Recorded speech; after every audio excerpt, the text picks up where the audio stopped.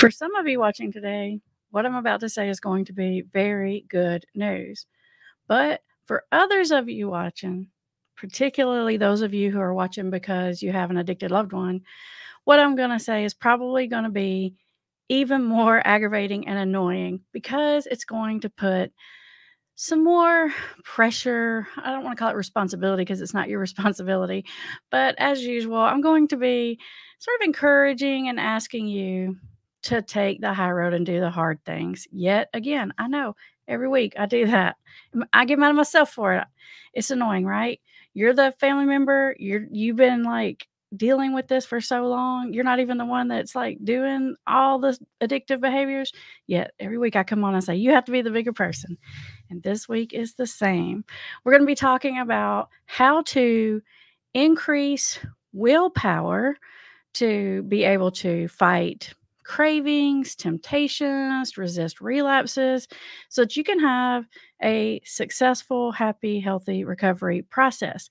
And we're going to talk about it from both angles. We're going to talk about it for um, from the angle of the person who's trying to build willpower and overcome challenges, and from the family or the, the supportive people's side of things too, because there are some things that the support people can do that actually will help build uh, willpower. Now, you hear a lot of people say you can't willpower your way through an addiction. And there's a little truth in that, but it's also a little deceptive. What they're saying is if you're just relying on your willpower alone, it's probably you're probably going to you're probably going to hit the wall at some point.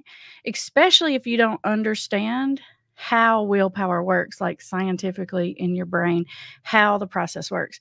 Everything I'm about to teach you guys today will apply to anything that requires willpower. We're going to be relating it to addiction, but you, this information isn't specific to addiction. We all have things that we're trying to use our willpower on to do better with, to do different. So, I want to tell you guys about an experiment, a scientific or psychological experiment called the chocolate radish experiment because this experiment really is sort of at the foundation of modern thought on how willpower actually works. So, in the chocolate radish experiment, these evil, cruel, devious researchers they did this terrible thing. They created this experiment where they put, as always, two groups. They put these people in these rooms and they pumped in the smell of chocolate chip cookies. That's why I say they're evil.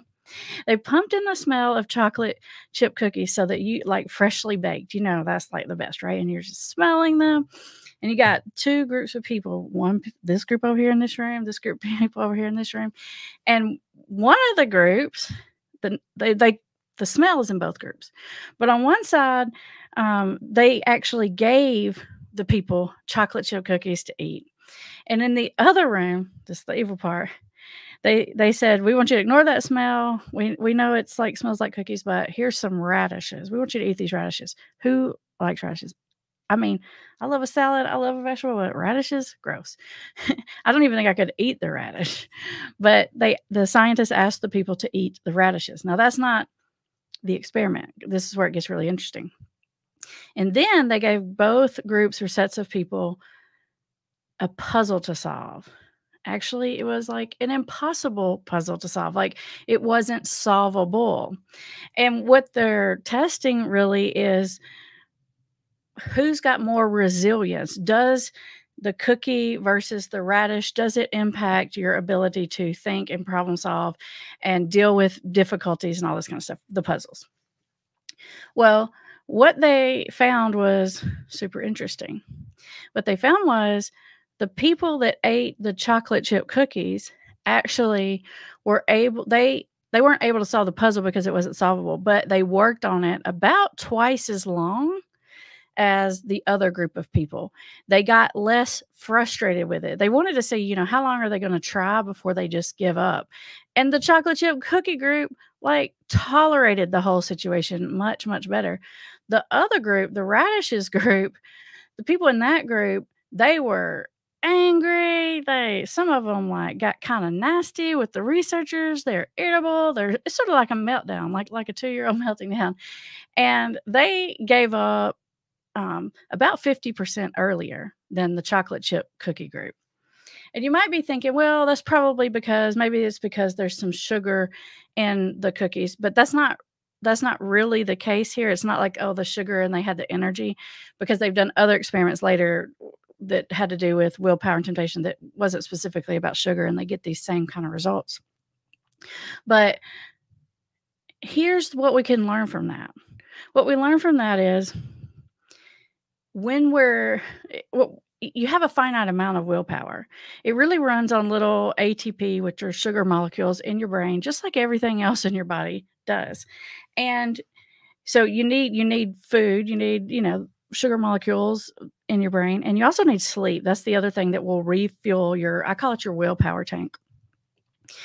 There's a finite amount, just like there's a finite amount of gas in your gas tank. Once you use it up, it's gone. Like it's gone and you can't refill it the willpower tank anyway until you get a really good night's sleep um, you know having something to eat hopefully a little protein or something will help a little bit but it, it's the good night's sleep that does it what does this mean this means that that you need to be very sort of intentional and strategic about what you are using your willpower for when you're trying to make a big life change when you're trying to overcome an addiction or even just like overcome a bad habit or going on a diet or learning something new or practicing like all these new communication skills that we teach you on this channel.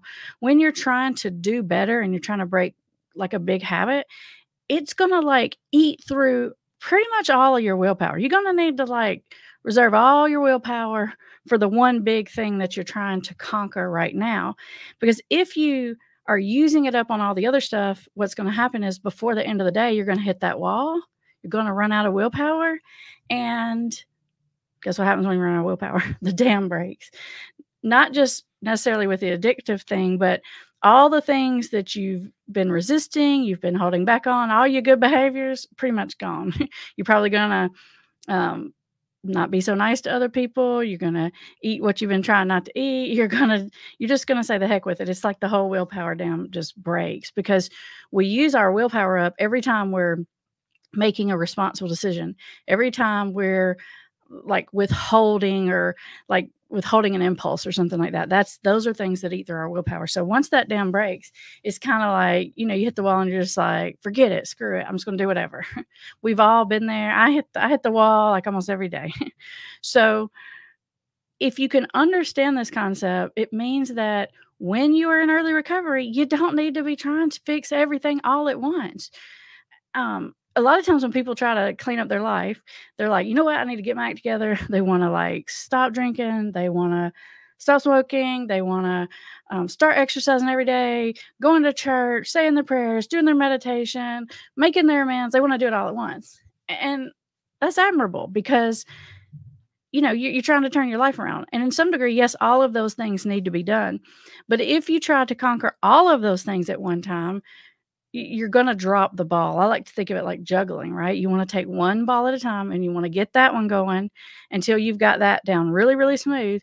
And then you want to throw another ball in there and then you learn to juggle two things.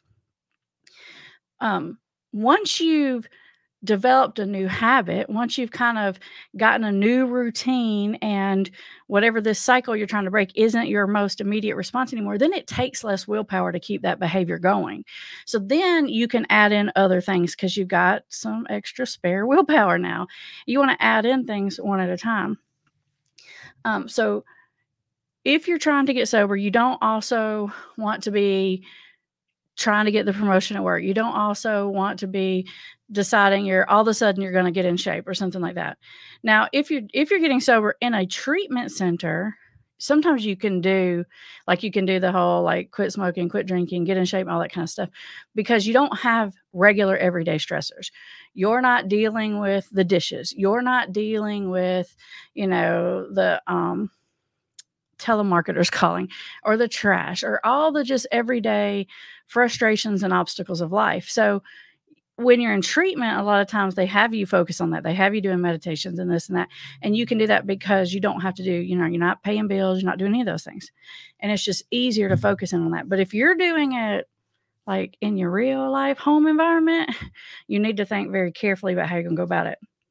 Now, here comes the part that the families are probably going to be frustrated about. And that is families. Here's what you guys do to me. Y'all know I love you, but but y'all kill me sometimes. you, you you watch these videos, you literally work on your loved one for a year, you finally get them to come talk to me, they're finally getting sober. And I get it. You're so frustrated. You've had it up to past here for the longest time. You've done used up all of your willpower. And then it's like it all goes out the window. But you're so frustrated because they haven't been doing all the responsibilities. They haven't been holding up their side of the bargain, all that stuff. And you want to throw everything at them at once. And you're mad at them about everything that's happened. So you're like waiting on your apology. You're you're putting the energy and the attitude out. You know, you're you're glad they're doing it, but you're still upset rightfully so, about everything that you've been through. And you need them to get their act together quickly because you just can't hold, you can't juggle all the balls yourself forever. So you're all of a sudden wanting them to be a better father, mother. You want them to go to uh, meetings every single day. You want them to still go to work. You want them to be nice to you. You, you kind of want them to be like on their hands and knees groveling, begging you for forgiveness, which they probably need to do maybe eventually. Some of them do, anyways. But you push too hard right at the very beginning because you're because your willpower is out of you know your your tank is out of gas. If you want to truly help support your loved one in those early days of making a change you're going to have to interact with them differently. Stop throwing everything at them at once. I know it's unfair. I feel like uneasy even saying this because i feel like it's so unfair like i know it is but but you've got to you got to back off a little bit. And if you want to actually help give them more willpower, if you can say genuinely little positive, encouraging things along the way, give them little compliments. It doesn't even have to be about like the recovery thing. It can be about anything, but you can give them a little compliment. You can brag on them a little bit. You can be kind of sweet or friendly or make them laugh or something. That actually gives them another drip or two back in that willpower tank or, or dopamine really because when they get that dopamine that dopamine is what will sort of help you drive past empty just a little bit longer, right? It helps you keep going when the gas tank is kind of empty. So if you can be um, positive and reinforcing and all of those things that I know I shouldn't have to ask you to do, but I am, you're going to be helping your loved one have more willpower. Now, I'm not letting the other person off the hook because if they were my client and I were seeing them, I'd be telling the same thing about you. I'd say, listen, you done broke your family member, you done killed your wife. So here's what you're gonna do. I mean, I put the responsibility on them too. So I'm not I'm I'm fair about making everybody have to hold their end. If you can give them that encouragement, if you can not try to throw everything at them at once, if you can not expect them to do everything perfectly, you're gonna get a better result. And even when you get efforts that aren't maybe all the way to the point where you want them to be at, if you will just encourage those efforts and help along and maybe even smooth the the pathway for the person a little bit, which might mean maybe you find the meetings. Maybe you get the kids out of the house so they can go to their Zoom AA meeting or their coaching call or whatever it is. You know, be helpful because I, I know it's hard. I know you're out of gas, but if you'll just keep hanging in there, you've done a lot to get this far. I know you have because you're watching these videos. And if you just hang in there and give it a little bit longer, you might get across that threshold finish line and then everything and then they really can start to pick up pieces more and more and more and more but a lot of times as the family member, you're just so frustrated. You know, they're in treatment and you're just so upset with them and you're so angry at them that all of your energy is kind of negative or sassy or difficult. Um, and, and you're pushing them and you're wanting them to have all the right answers right away. And scientifically, willpower just doesn't work that way. You have to sort of work with what you're dealing with. And then, of course, for those of you who are in those early stages of recovery, there are the basic things which you've heard me talk about and, and everyone talk about. So I'm not going to spend a lot of time on them, but but anything you can do to keep away from those like willpower like pit traps or something the better, which means don't subject yourself to triggers if you can help it. Don't go to all the places where it's going to remind you of, make you crave, make you want to engage in your addictive behavior. Don't watch the TV shows that are going to do that. You know, don't wear the clothes that are going to make you do that. The more you can do to stay away from that, it's going to it's going to preserve your willpower like the gas in the gas tank and it and which will help it last a little longer. I'm not saying you can't do those things. I'm not saying you will relapse if you go to those things, but I'm saying you're going to use up your willpower reserve really quickly and that's going to be dangerous because if you get yourself in a situation where you're out of willpower for the day and the right kind of situation presents itself, you're, you're in trouble. That's the formula for relapse. For those of you who are watching live, we are I'm going to take your questions and your and your comments in just a few minutes. Some of you are like jumping on here early and getting your questions at the top. I see you guys. You guys are like, I'm gonna get in there, I'm gonna get my question So I'm gonna take some some of those questions. I can't promise to get all of the questions, um, but I'm gonna do my best to get to get the ones that I can. And I would like to save a little time today. If any of you would like to hop on here and talk to me about your situation or ask me a question like live on the video um, in real time, then I'm going to put the link up here for you to click and do that if you want to. Um, but know that this is public. Okay. So you can, if you click the link, it's going to ask you to type in a name. You can type in whatever name you want to. It doesn't have to be your name, but your face is going to be on there. So don't talk about anything that you, you don't want out there into the world. Okay. Because I can't, I can't pull it back once it's out there. Even if I even if I um, unpublish the video, it's out there. It's, there's no pulling it back. So if you'd like to come on, I'm going to put the link up for you guys to do that.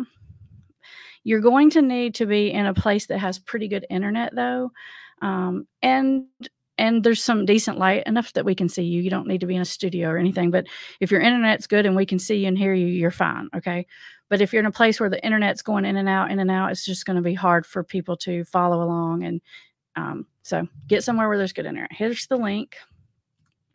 If anybody wants to hop on here, if no one wants to, I totally understand that too.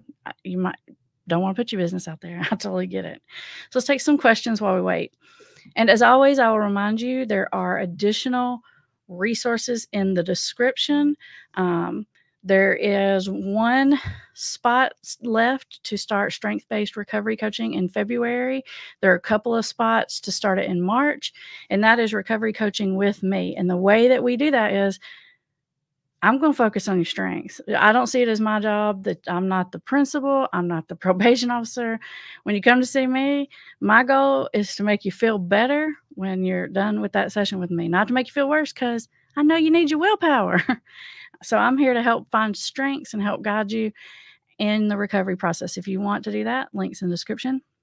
And then if you're a family member and you need some coaching and you have a lot of questions, but you don't want to put your name or jump on here um, on the Thursday videos, which is totally understandable, um, then you can join our private coaching group, which I've also put the link for in the description, because Kim and Campbell do live calls that are private ones just for the people in the group, where you can jump on and ask questions and get feedback every single week.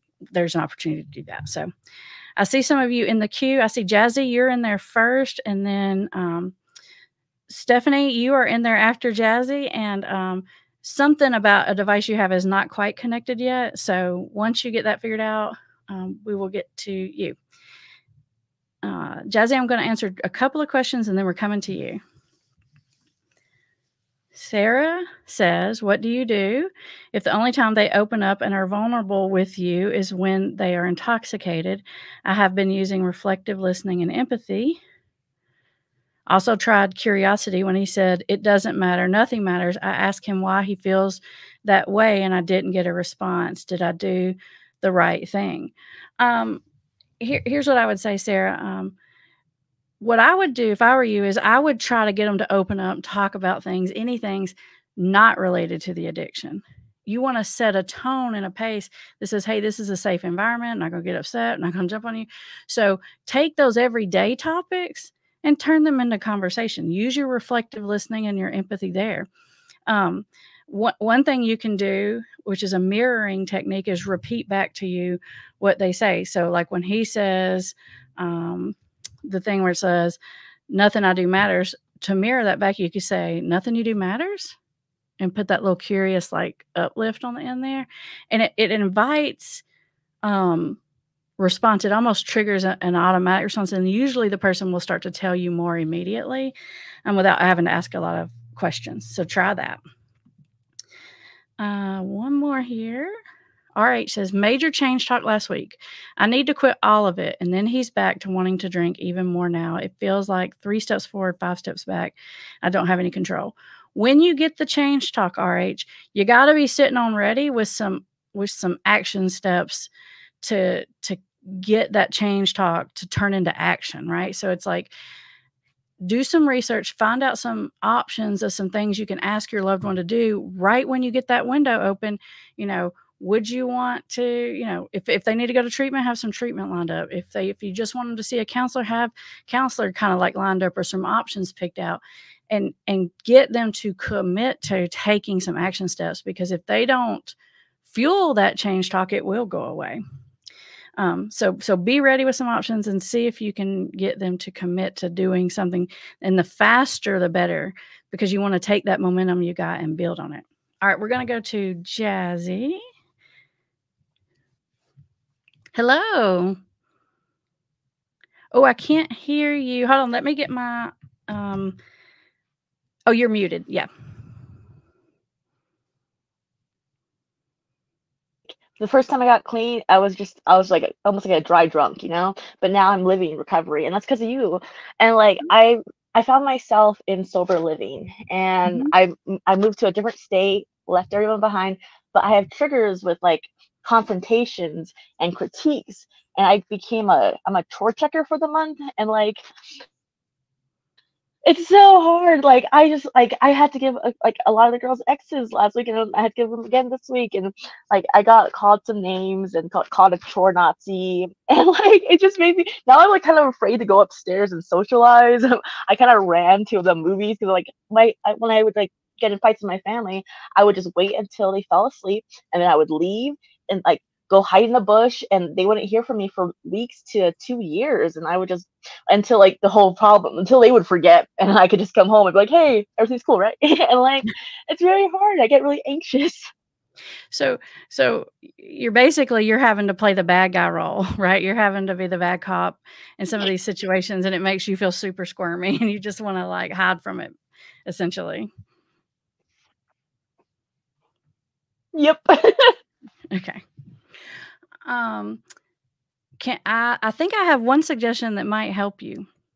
Any, and you may have heard me talk about this to family members, but but you may not be sort of connecting the dots that you can actually use it in a situation like this. Anytime you're about to deliver some bad news or be the bad cop or say something that's maybe not going to land well, just acknowledge that first. You can say, all right, I'm going to have to be the chore police here. Like, I totally hate being this. and then say what you're going to say. You can say, Here it comes. Like, I'm about to be so mean or, you know, bitchy or whatever it is. Just say whatever you think they're thinking about yourself. And then whatever you say next is going to come across softer because it's almost like you're like um, softening the ground up and you're acknowledging, like, yeah, I know this ain't fun. I know that this is coming across as like mean or controlling. If you just say those things, it actually takes the sting out for the other person and what what you will probably get is something like i know it's your job you have to do it you're just doing what you have to do if you don't say it then the other person is kind of likely thinking oh my gosh she thinks she's better than us like she's just on our case you know, like all the thoughts right so so just say it you know, if you think they always say she's always on us about our chores, say, I know I'm always on you about your chores. I'm like the chore police around here. Say it first and then deliver the next thing. Try that and see see if that helps a little bit. Thank you so much. and hey, I'm super proud of you. And you're doing you're doing awesome. And I love that you're in sober living. That's for people who are going to do any kind of treatment, and sober living is not officially treatment, but I think sober living is where it's at because you haven't learned all these skills, right? Like you're having to do hard things and you need these skills like in life like how am i gonna trying to socialize trying to have tact and like you know even just like making your bed and like it's building healthier habits and i'm about to hit like exactly. one year on the third and i'm just like so mm-hmm. good so happy that's so exciting. Yeah. Now the skills you're building translate to the real world because they're real world skills. Whereas when you're in like lockdown treatment, it, it's not the same. What you're doing, if you can be sober and sober living, you can be sober because especially in women's sober living because there's so much drama. It's almost harder. If you can do it there you can do it anywhere okay? Thank you. Bye. You're welcome. Bye.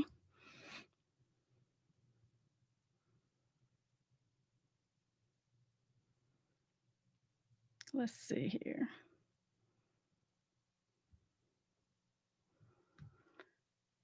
We are going um, there is somebody on here next. Ronnie, I see that you're on here and I will pop you up there and talk to you if you will activate your camera and microphone. Um, so if you want, uh, just activate that. And once you do that, I'll pop you up here and we'll, and we'll have a conversation. Um, in the meantime, we will slide down here and see if there's some more questions or comments in the chat. Um, let's see here. Nancy had a question. She says, Adult daughter living in the house flew off the handle at me and actually said she needs help. What's the next steps to take advantage of this before she refuses to make change in her life? Um, just like I was telling um, somebody just a second ago, Nancy, you want to have some options ready and you're at your moment right now. So say, hey, can I make you an appointment? You know, for IOP for an intensive outpatient. Hey, here's three places I've looked at. Which one of these look like they might be the best for you? Um, I, I, like to offer choices and I like multiple choices best. If you just ask a blank question, like you can say, What kind of help do you think you need? If you think they have an answer to that. But if they, if you think that they're just going to be like, I don't know, I just need to do it myself or something, then, then put the multiple choice question out there so that you have some options. But you got to, you got to have looked into what are the resources around you and get them to take those steps quickly before before you lose that momentum.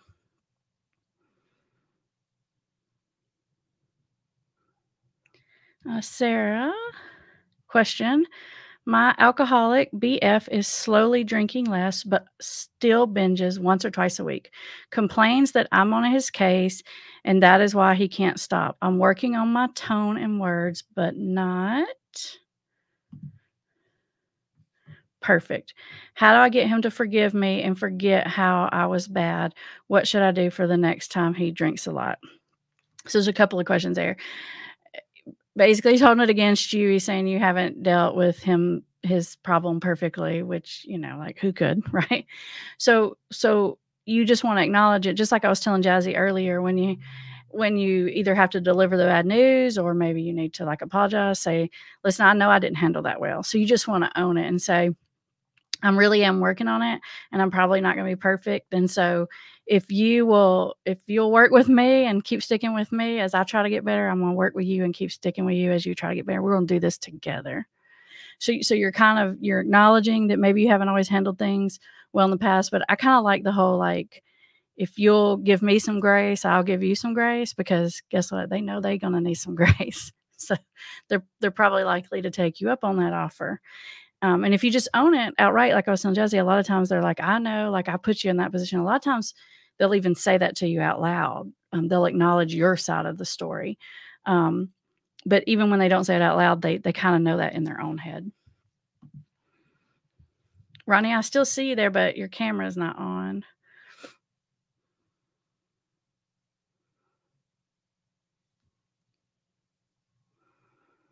Let's see. You guys are like talking to each other a lot. I love this. Giving each other support.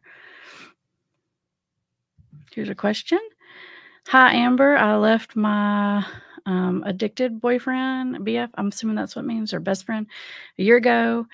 Um, there has been NC. He's out drinking and partying. I'm worried, but do not know if I should contact him.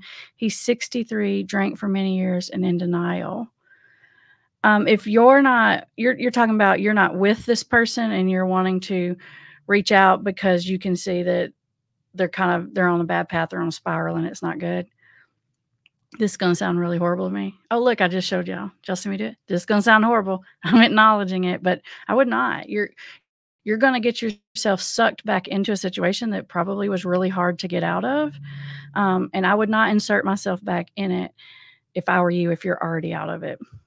I mean, I hate to say that, but but that's just the truth of it because you're not together with them. You're not going to have much leverage, and in order to help this person, you're going to have to get really close to the situation, which is going to bring a lot of pain on you. For those of you that are already in it, then we got to figure it out. But if you're out of it, I don't know that I would get back in it if you can help it. Um, Jackson says. My wife did an inpatient rehab for 28 days and then went back to drinking two weeks after. She just checked herself into a sober living house yesterday where she has more freedom. Is this a good thing? Um, yes, I think it is a good thing. You always have more freedom in sober living than you have in rehab because in rehab, like treatment, it's usually like locked up treatment, like like there's not an opportunity to make bad choices. And it was sort of like I was talking to Jazzy about in sober living, it, it's it, there's a lot of recovery supports and yes there are rules and requirements and monitoring and stuff like that but for the most part it's real world living and and that's where you need to learn the skills of being sober because it's what you're saying is your wife did 28 days of treatment and she stayed sober for 2 weeks which means in my mind it means that your wife was trying. If she wasn't trying, she would have literally used the day she got out. If she was just faking it, she would count down. It would have been on like Donkey Kong as soon as she left. But she made it two weeks and then fell off the cliff. So what the saying is not that she doesn't mean it and not that she's not trying, but that she needs maybe some more skills and some more help dealing with all the stressors. Um, and sober living, I think, is a good place to do that. So yes, I, I think that that is a good thing. Um, Stephanie, yes, you can write a question in the chat. You don't have to come on the video to ask it. Um,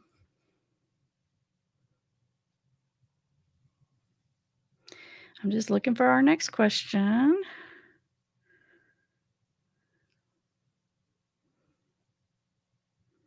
There's a lot of people in here talking. You guys are talking to Ryan. I love it. You guys are giving Ryan some help.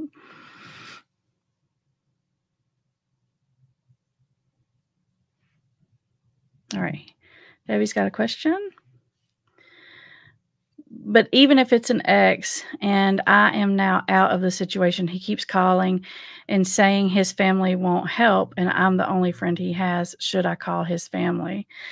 Um no, I would not call his family because I feel like that's that's outside of your side of the street, Debbie. Um, if his family's not helping, is as sad and hard as that is to hear, there's probably some really good reasons. It means he's burned some um, bridges for that. So um, I, th- I think it would be out of bounds to call the family, and I don't and I don't think it would help anyway because if they're holding that strong boundary, I don't think that they're gonna they're gonna let that down because I'm sure that there's a reason why they're doing that.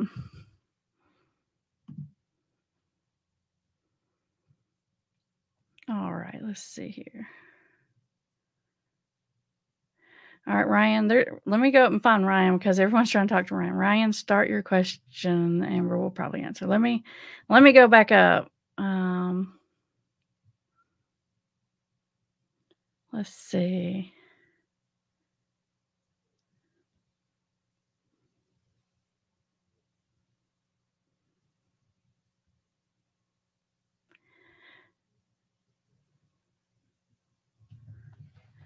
Sorry, this is taking me a second, guys. I need a moderator, I think.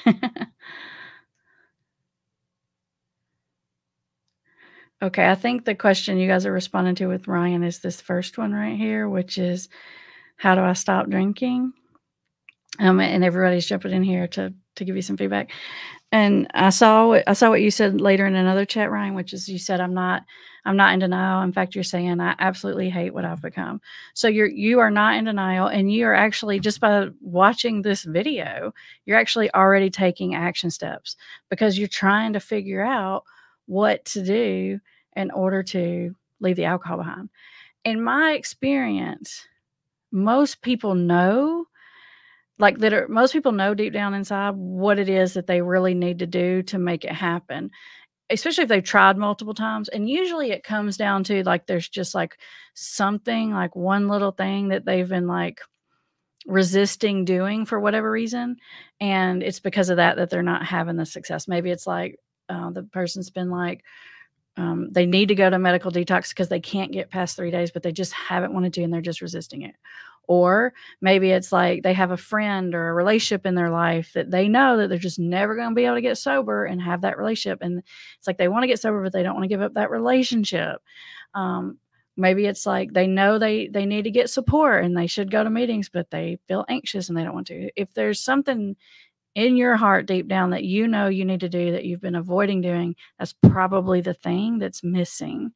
Um, I, I mean, I could tell you 10 things to do, but you you know you know what the pieces are that aren't working for you. Are you keeping it in your life? Is there a relationship? Is it help, treatment, coaching? What is it that's missing, or what is it that you've kind of been avoiding or being reluctant to? That's that's the thing. Appreciate all you guys who's jumping in there trying to help Ryan. Um, let's see here.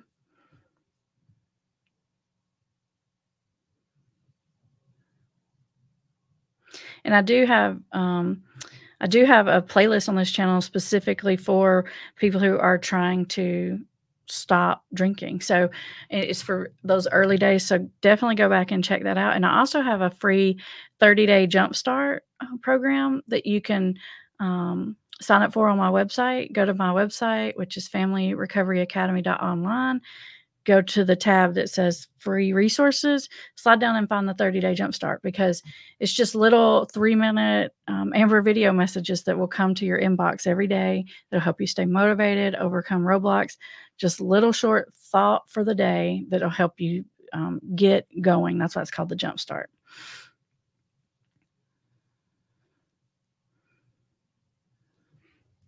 All right, here's Stephanie's question. I am learning how to lecture less, give less advice, and less solving problems. I'm asking more questions, more conversation, and more storytelling. Will this help an adult son, alcoholic, want to get help? Um, yes, it will help. It will help the person come to terms with um, the fact that they have a problem and it's sort of levels. First, it's like it helps them come to terms with it, with whether or not they have a problem. So if they're in denial, you kind of got to get past that. And then there's sort of like second layer of denial, which is can I solve this problem on my own? So if you've been um, doing all these things, you're what's happening is you're allowing the person to have a safe place to talk to you as a sounding board. And just like I was telling Ryan, how like most people have the answers down inside, as you're getting him to talk, those answers are coming up surfacing. And when he's when he's saying those things out loud, it's reinforcing it in his own mind.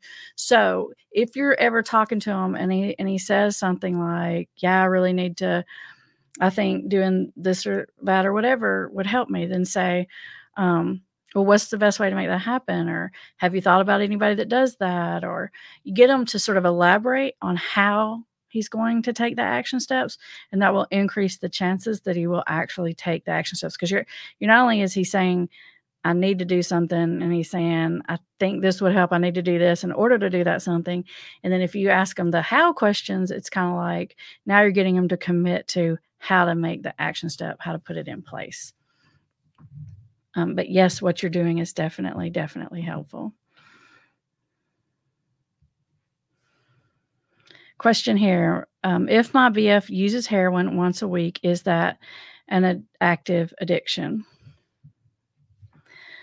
um, addiction doesn't isn't about what substance or how much it's about how much unmanageability and difficulty it's causing in your life um, it's about do the cons outweigh the pros you know is it messing your relationships up is it messing your finances up are you putting yourself in a dangerous situation to do it um, do you have cravings for it all throughout the week are you only using once a week because you've had difficulties in the past and you've been to treatment and you're fooling yourself into thinking, well, I can just do this once a week and make it manageable?